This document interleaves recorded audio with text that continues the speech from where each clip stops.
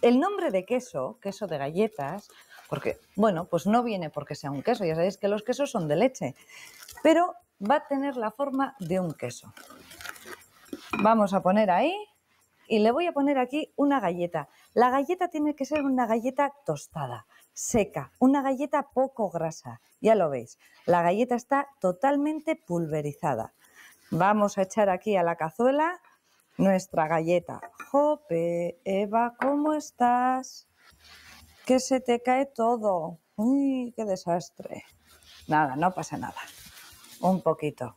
Bueno, mezclamos esto así, bien mezclado, al calor, que vaya engordando la galleta, chupando bien lo de los huevos, mezclándose todo bien. Ahí ya veis qué masa se nos está haciendo, ¿eh? Pues a esto le voy a echar otra cosa que también gusta mucho, claro, este queso hay que aromatizar. Vamos a ponerle cascarita de limón, un poco, una pizca de canela y también le quiero poner a esto mismo coco rallado. Ahí. Venga, fibra, que nos hace falta, que es muy buena la fibra, que ahora pecamos de poca fibra. Y vamos a seguir mezclándolo todo. Ya veis que tiene consistencia, pero decís, buf, pero esto no tiene consistencia como para cortar con cuchillo. Pues sí la va a tener, porque claro, ahora está caliente, pero en cuanto se enfríe, esto se nos va a quedar pues como si fuese una galleta muy grande, muy grande, aromatizada, muy rica, enriquecida y muy dulce. ¿Y dónde voy a poner yo esto? Pues mirad, aquí tengo un molde forrado con un papel, un film transparente de plástico, para luego poder desmoldar bien. Y voy a meter todos estos ingredientes ahí dentro, con cuidado. Esto ya está. Así.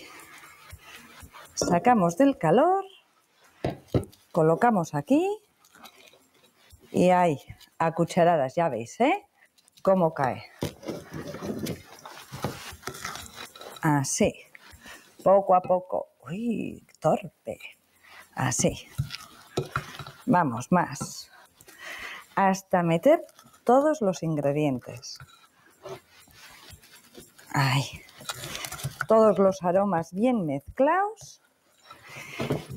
¿Y qué nos va a hacer falta ahora? Pues un poco tiempo. Tapamos esto así.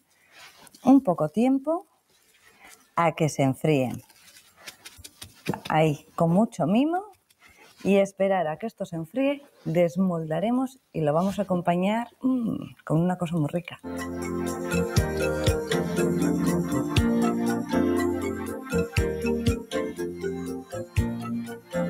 Aquí tengo yo el queso de galletas hecho. Ya veis la forma que tiene, hasta las arrugas de un queso artesano. Vamos, está perfecto. Pero aquí tengo yo un chocolate deshecho con el que voy a bañar este maravilloso queso. Mirad la manera de bañar. Es un chocolate de cobertura que tiene grasa de coco para hacerlo más ligero y además a la hora de partir pues no se nos va a cuartear como si fuese un chocolate de cobertura sin más. ¿eh? Va a ser mucho más fácil. Lo bañamos bien, luego todo lo que cae es aprovechable, o sea que no tengáis miedo.